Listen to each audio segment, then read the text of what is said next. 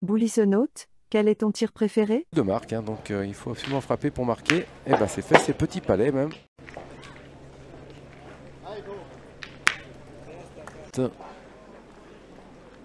Ouh là, c'est frappé, c'est carreau.